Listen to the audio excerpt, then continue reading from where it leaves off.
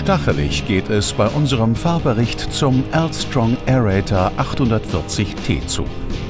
Die giftgrüne Maschine aus Irland ist vor allem für die Bodenlockerung und Belüftung auf Grünlandflächen gedacht.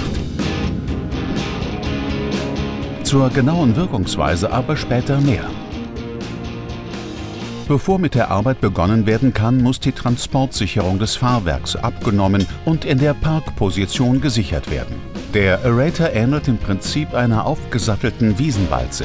Die Deichsel ist mit einer Unterlenkertraverse ausgestattet und ermöglicht so 90 Grad Einschlagwinkel. Für die Arbeit wird die Maschine mit 2,50 Meter Arbeitsbreite hydraulisch abgesenkt.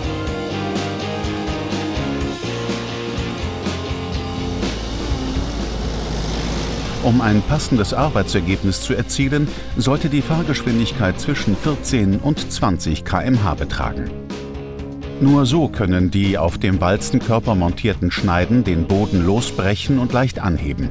Als Effekt verspricht Earlstrong einen besseren Wasserhaushalt, eine höhere Nährstoffausnutzung sowie eine stärkere Wurzelbildung.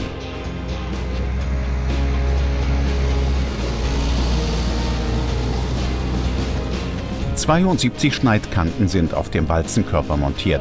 Damit diese bei Kurvenfahrten keine Narbenschäden verursachen, wird die Walze am Vorgewende mit dem stabilen Fahrwerk angehoben. Die Bereifung der Größe 19-045-17 ist dafür ausreichend dimensioniert. Armstrong gibt für den 2,50 Meter breiten Rater 840T einen Leistungsbedarf von 80 kW 110 PS an.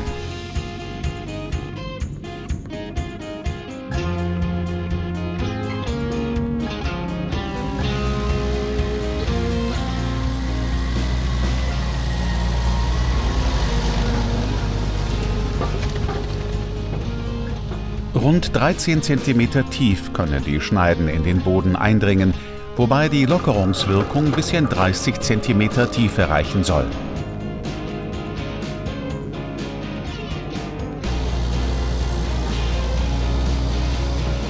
Damit die Schneiden unter allen Bedingungen sicher eindringen können, lässt sich der Walzenkörper mit 2000 Litern Wasser befüllen.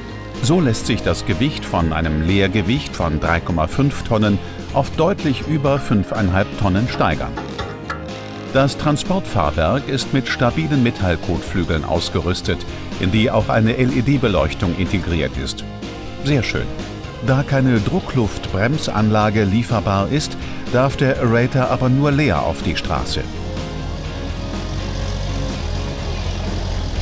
Der 2,50 Meter breite Elstrong Aerator ist beim deutschen Importeur Tobias Häuser ab einem Listenpreis von 14.620 Euro zu bekommen.